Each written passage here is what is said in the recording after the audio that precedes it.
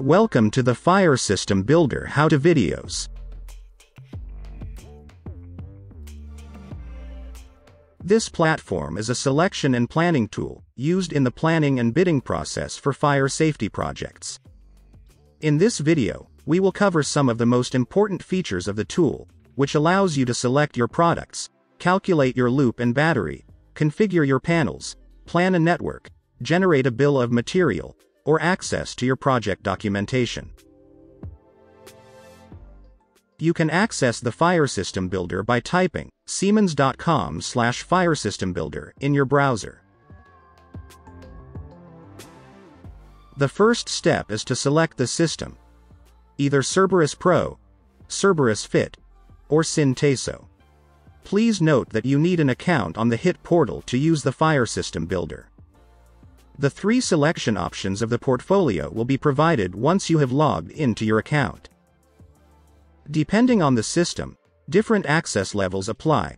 While Cerberus Fit is accessible to all users, access to Cerberus Pro or Sinteso needs to be requested. For further information about the tool, the fire system configuration, or how to use it, click on the documentation button. Now, Let's have a look at Cerberus Pro. To begin configuring your system, first select the network type.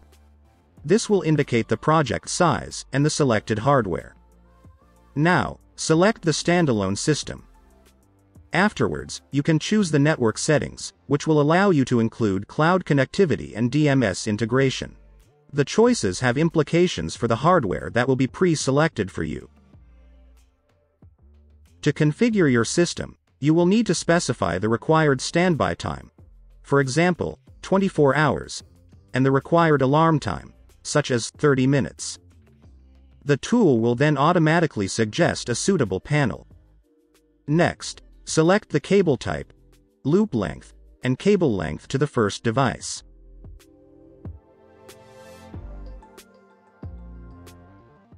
You can choose the maximum loop current of 0.5 or 1.5. Please note that if you exceed the limit, as has been done here with 10,000 meters, the system will ask you to reduce the loop length accordingly. Afterwards, you can add various loop devices, such as fire detectors, alarm devices, manual call points, special detectors, or operating and indication devices. When adding fire detectors, you can choose from different basic attributes. For example, when you add a smoke detector, the available ones will appear in the tool. Then, select the corresponding base and add to the project the amount needed.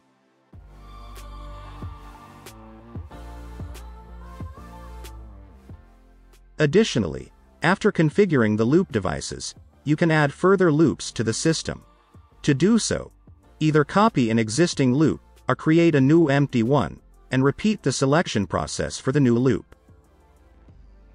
Moreover, you can delete loops with a simple click of a button.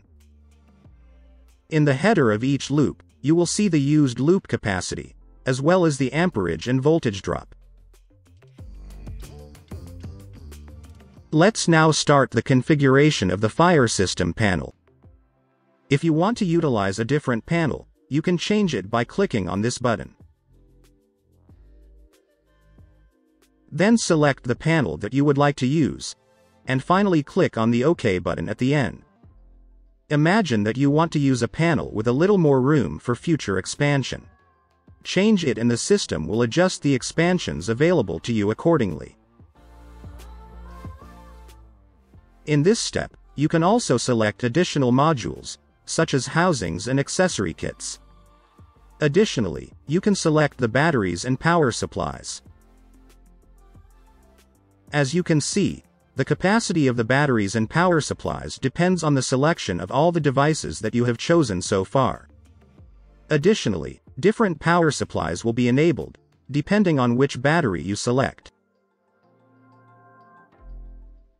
You can also add additional housings, if needed, for the power supplies and batteries, as well as various panel accessories. Next, you will have an overview of all the calculation details for further investigation. In the end, you will have a product list, which includes all the products sorted according to the project structure of the panels and extensions.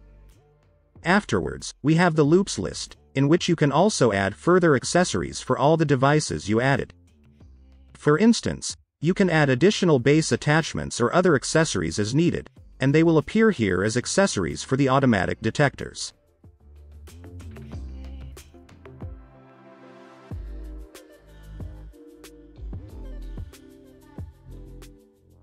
Lastly, you can add to the product list any products from the HIT catalog which are not specifically included in this fire system.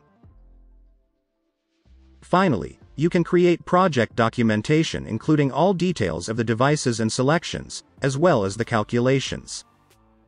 You can also create a product list as an Excel file to download. You can additionally download product-related documents, such as data sheets, declarations or certificates of conformity, as well as installation instructions. These documents can be passed on to customers, or installers, or others who will find them useful. Finally, do not forget to save your project at the end, for later access. Under the My Projects tab, you will find a list of all the projects you have opened. You can access these projects at a later date, and make changes to the configuration as required. That concludes our quick overview of the Fire System Builder, which is easy to use in your planning, and helps you in making rough calculations for your project. Thank you for watching, and enjoy using the tool.